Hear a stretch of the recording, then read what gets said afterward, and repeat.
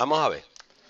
Em, funciones que tienen un dominio que se puede extraer pensando un poquito. Por ejemplo, la función que mide el área de un cuadrado. ¿no? Yo sé que el área de un cuadrado es el lado al cuadrado, ¿no? Yo podría escribir que y es igual a x cuadrado. Si x es el lado, y es el valor de la función. Función, ¿qué dominio tiene? No hace falta que nadie te diga nada para saber que el dominio es desde 0 hasta más infinito. ¿Por qué? Porque no puede haber un cuadrado de lado negativo. ¿A que no?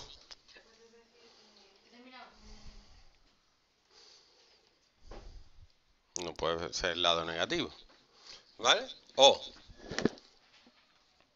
dinero que gano en una noche en una discoteca. Al otro día salió, anoche en la tele diciendo que estaban echando cosas en la discoteca. Echando cositas por Vito. Te dejan. ¿Por Vito? Eso lleva mi madre diciéndomelo 30 años y nunca me pasa nada. Pero bueno, por lo visto. Yo como no voy, pues no.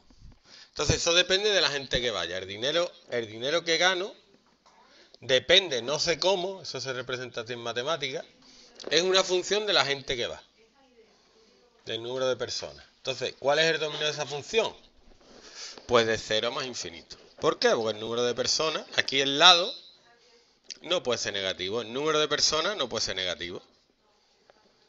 Puede no entrar nadie.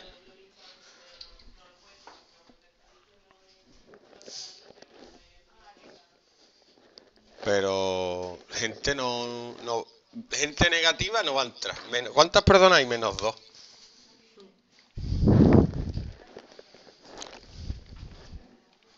¿Vale? Entonces hay funciones que se ve claramente cuál es el dominio sin tener que hacer cuentas, sin tener que hacer nada. Pero hay otras que no.